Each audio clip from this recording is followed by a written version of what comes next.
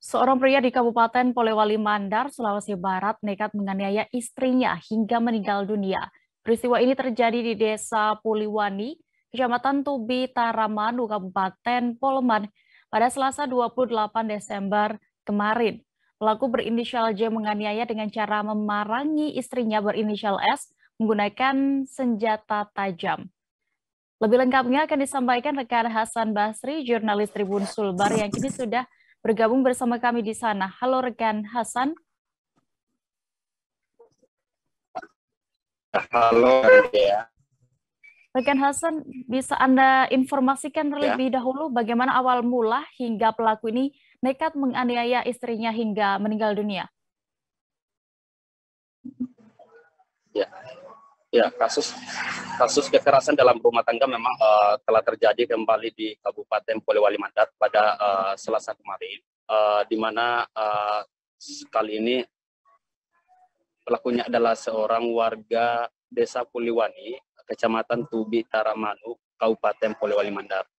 Pelaku berinisial J ini, JD ini menganiaya istrinya berinisial SA sehingga sampai meninggal dunia.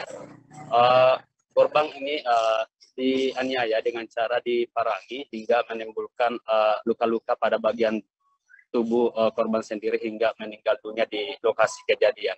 Uh, adapun kronologis kejadian sendiri ini uh, antara korban dan pelaku ini uh, sempat diawali cekcok. Namun belum diketahui pasti uh, awal mula sehingga uh, kedua belah pihak ini terjadi cekcok. Namun uh, pada saat cekcok terjadi itu di situlah dimulai pelaku mengambil paran dan menganiaya korban dan uh, kasus ini telah ditangani kepolisian. Uh, begitu dia. Ya, rekan Hasan, setelah pelaku ini juga sudah diamankan berdasarkan informasinya, apakah sudah diketahui motif penganiayaan tersebut?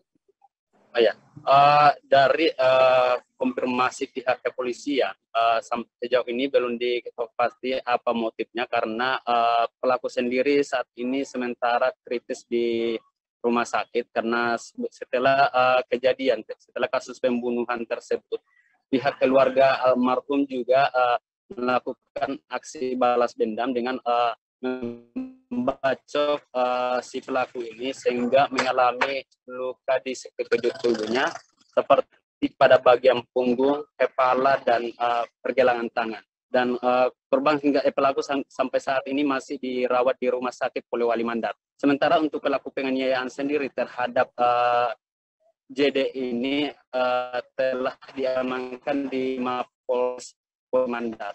Itu dia. Baik, Tribunus terkait kasus ini, rekan Hasan sudah melakukan wawancara bersama AKBP Agung Budi Leksono selaku Kepala Kepolisian Resor Polewali Mandar. Berikut kami tampilkan liputannya. Pak, terkait eh, kasus penganiayaan eh, KDRT yang terjadi di Tutar itu seperti apa kronologinya? Saat ini kita dalam penyelidikan, ya Alhamdulillah pelaku sudah kita amankan. Kita dengan cepat, satu 12 jam sudah, antara tiga jam sudah kita ungkap. Nah, ada dua pelaku sebenarnya. Hmm. Yang pertama ini kasusnya KDRT, ya. sehingga mengakibatkan meninggal dunia.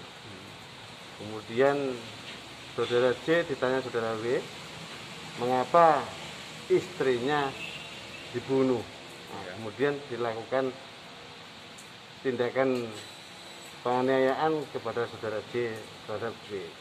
Jadi yang diduga pelaku ada dua.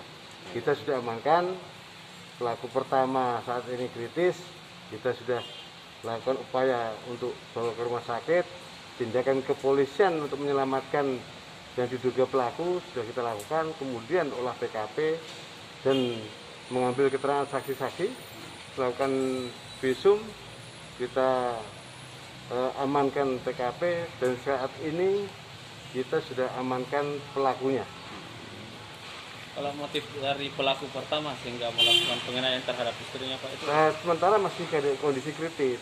Hmm. Jadi masih kami kembangkan penyelidikan. Ya. Kan?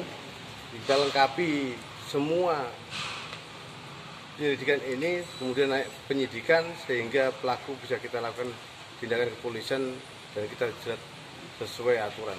Korban dianiaya sehingga meninggal ini dilakukan dengan cara apa ini?